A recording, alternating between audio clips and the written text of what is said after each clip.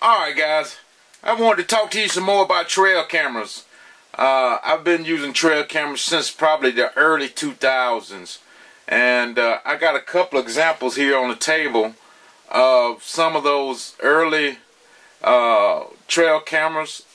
And basically, I just wanted to go through them. I, I found this might be a little interesting to a couple of you guys that haven't seen some of these uh, trail cameras and a little history behind them and uh, hopefully uh, you guys will find it entertaining. And uh, let's let's go to the first one here. Alright guys. The first uh, trail camera I want to show you guys was this big old behemoth of a thing right here. Uh, this was the Mad Wildlife Eye. Uh, a couple you guys probably, you know, the older guys probably know what this is and have seen it uh, maybe not have seen it work. But this was the first camera that I know of that you could um, take video with, video uh, pictures with. And this you see, this is what it took for that to happen. This was, had to be around 2000, 2001, 2 maybe. And uh, I'm gonna open it up and show you what the, the uniqueness of this was that you could open this up and you had to put a camcorder in there to take the videos. Uh, this is not the one that I had in here but it's a, this is similar to that. Uh, the one I had in here had the, the big cassette tape that you would slide down in here and uh, record to a, a, a video cassette tape. This is a digital one, but I, I just want to have an example of it. And uh, what you would do is, down here in the bottom is a little compartment that you would remove. And there's a uh, 12 volt battery down here. One of the small little 12 volt batteries. Uh, but you know, this is the most of the weight right here. This battery, it's got to be four or five pounds. And uh, you would put that in the bottom and hook up the power to it and put this cover back in it so that you could place your camera on top of that on top of that little compartment there and looking outside this window it's a um, window in here with a little slide. Uh, I guess for daytime and nighttime deal.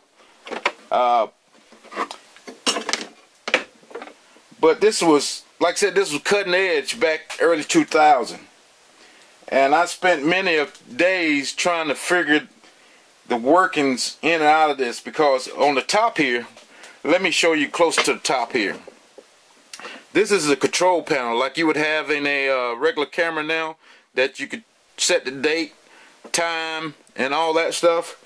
This is what this was. It had dip switches that you could flip up or flip down depending on if you wanted to run all day or just part of the day, that type thing. And it did have a um, a display here that shows you uh, time of the, you know, what time of the day it was. And uh, you had to flip switches like you was in a, uh, in, in an airplane. You know, these got the flip switches to flip on and off. Uh, this one says lights. I really can't tell you the truth. I really can't remember how to set this up. It came with a booklet. Uh, I don't believe it was a, a big old booklet, but it did come with a booklet. And it would show you what dips, dip, dip, dip switches, I'm sorry, to go up or down to get what settings you wanted. And what made this this this camera run, uh, depending on what you set it for, on the side of uh, the cameras back then, you had to find you had to find a camera that had this little port on it, for you can get the camera the, the actual trail camera to control the video camera. Uh, it's a little, uh, I guess your little cable here that would plug into the side of that camera. And once you put this camera, uh oh, once you put this camera in here, and I can't remember how I got it to hold down in here. I don't know if I just placed it up there, and you would have to get it aimed out of the window, out of that little window, and focus it, and make sure you had to turn off the autofocus on it, on your camera, and you had to focus it to whatever you was looking at to get it to take clear pictures. So once all your settings are put in here and you turn it on, if a deer walked in front of it, uh, this would trigger and it would make that uh, video camera, the camcorder, actual come on and start recording.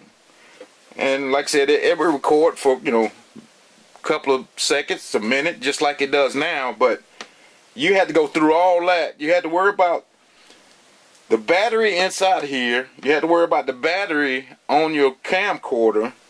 And uh, just the, you know, just somewhere to put this big old big old thing so it was a task but this was the cutting edge that you know that if you wanted videos instead of just regular pictures this is what you had to do and uh, this unit back then was like five six hundred dollars just for the housing. And the uh, actual camcorder was another two three hundred dollars. So you're talking about almost a thousand dollars for this setup before you can put it in the woods and go record some uh, videos of some deers.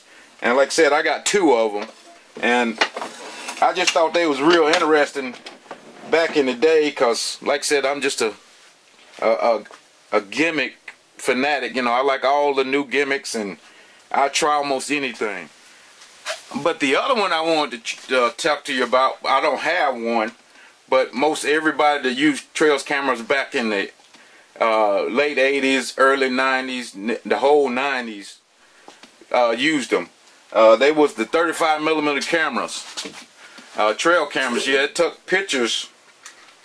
Some of the cameras had just like these old 35 millimeter cameras stuck in them, and uh, the trigger speeds were like four or five seconds. So a lot of these would take pictures of just nothing. Uh, and you would have to go to uh, Walmart or you know the the the, the drugstore or something and get these pictures developed before you even seen uh, what the picture of the deer or whatever you took picture of. And a lot of times, like I said, on you probably get what 30 pictures out of a, a 35 millimeter cartridge. I guess that's what you call it. It's been so long, I don't know what you call it. Real cartridge, whatever. And when you got them back, you were so excited. And you when you got the little envelope that the picture was in, and you start going through them, and half of them was either blank, or it had pictures of half of of nothing, and uh, the other half of it exposed.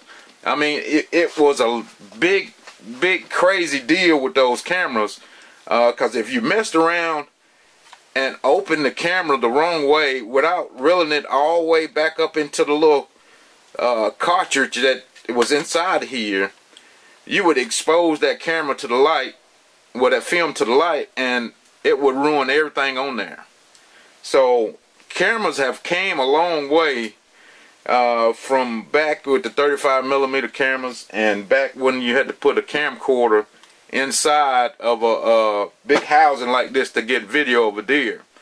Uh, I did a little research on where cameras came from, where trail cameras came from, and they said there was, was college students at Missouri State University back in the early 80s uh, wanted to study the movement and of deer. So they tried to come up with a, a solution to be able to, to film or take pictures of deers and wherever they roamed and all that. And I kind of remember this was kind of a little bit before I got into trail cameras. I've been hunting since I was 16. And you're talking almost 35, 38 years ago and uh, but at that time I didn't have any money to be buying trail cameras. And especially back then trail cameras was very expensive to the regular average hunter. So but they came up with solutions. Out of solution it was a little tracker system they had. I think it was called the the the, the trail timer or trail tracker one or two. But it had a little black box on this side with a string coming out of it and with the camera on the other side of it. So if that deer walked by and tripped that string, it would take a picture. But like I said, that's only one picture out of how many, you know, how long it ever sits in the woods. So uh, that was, I was surprised to see that, but I remember having a couple of, of string apparatuses back then, but I don't remember a camera hooked up to it. But uh, a lot of you guys might be able to tell me, you know, your stories on that type thing. But moving right along, uh, I want to show you this camera here. I have two of them. This is the uh, Primos, uh, what did they call this? The, uh, I can't remember the name of this thing. Hopefully it's got in here.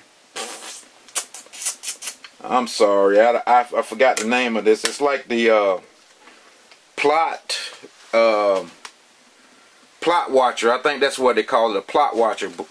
This one, all you did was you put it up wherever you wanted to put it on, and you just turned it on, and it would take pictures. Uh, you could set it up for five. It's just like a a lap time lapse uh, camera, and you just put it on your food plot, and it would take pictures all day. Just, you know, like I said, you can set it for 5, 10, 20 seconds. And when you got it back, you would have thousands of pictures on there. But the problem was you had thousands of pictures, but you couldn't watch them. You couldn't put them on your computer or your laptop or your uh, uh, camera watch uh, video deal to, to look at them because the software was internet based and you would have to wait till you got home and get on the internet and go to Primos' site to to actually see the the pictures that uh, was on his camera.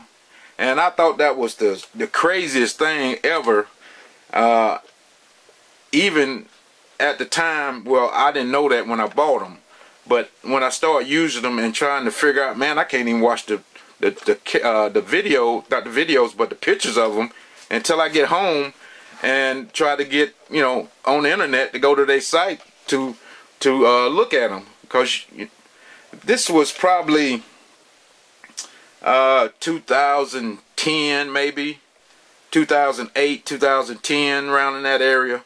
And I have no idea why you couldn't download uh, the software for these on a computer or something but at that time downloading apps was not the big ticket. I don't believe many people had a phone that would download an app on it that especially that you could uh, uh, a computer that you could download an app on just from the app and look at that type stuff but I could be wrong but like I said, I got two of these. I mean, they work good. I mean, you could put them up and and, and it would take pictures all day. Uh, and a lot of that helps when you just want to see the activity over a whole food plot. Uh, like I said, you if you put this high enough in a tree, you can watch a whole food plot and without having a, a, a camera just facing at one little particular area you can see the whole food plot of deer's travel and what side of the, the, the food plot that came out of and all that kind of stuff, which was a good deal, but the software was just a problem. And so after probably two years, I stopped using them. I just I just couldn't deal with uh, not looking at the videos until I got home. And by that time, you know, I'm going through 4,000 pictures to look and see what's on them. Uh, and I'm gonna, this is, these are, this is my bad list right here. I picked these up from eBay uh, probably three to four years ago. These are Primos uh, little cameras, and I have and I have two of them. But to tell you the truth, I used them one year and never got a picture out of either one of them. And as you can see, I use a lot of cameras, so it's not like I don't know what I'm doing or or what. That that that's not a problem. But this camera, I'm gonna give you a good look at it. I have never got a picture, a clear picture. I might have two pictures out of either one of these, and they pictures of nothing. I mean, just blank space, like it took a picture of the uh, black hole or something. But this this camera never never act right never did right and I just wanted to show you guys. If any of you guys have this camera I want to make sure you guys tell me did you ever get some pictures out of this camera I mean they look like good cameras like I said these cameras are, are very basically new because I, when I used them I got so frustrated that they wouldn't take pictures and I took them out so I got two of these, which I don't like either one of them. But uh, going, getting closer to now, around this, I say within the last six years or so, I got on to the uh, Spypoint deal. This is a Spypoint 5. Uh, I'm going to open it up, but this is one of the ones that died because uh, the batteries uh, leaked on the uh, contacts here and I never sought to find uh, more ways or contacts to put in here to actually get it running back. I mean I took this camera apart as you probably see it's, well it's not coming all the way apart but to try to see what was actually damaged in here but these are some of the best cameras that I've used back then, back in that time frame, uh, you know, six, seven years ago. Uh, the Spypoint, like I said, I bought probably 15 of these, just different brand, not different brands, but different series. Uh, this is a five. I got the six. I got the seven. I even got one the eights, and uh, it, this this camera was so simple to use and, and it like I said you could pull the inside of it out and actually you know hold in your hand and and work all the dip switches and turn them on and all that stuff and when you got ready to put it back in there you just snap it back in there and this part is still on the tree I thought that was a, a, a good uh, I guess uh, not invention but a good way to produce these cameras.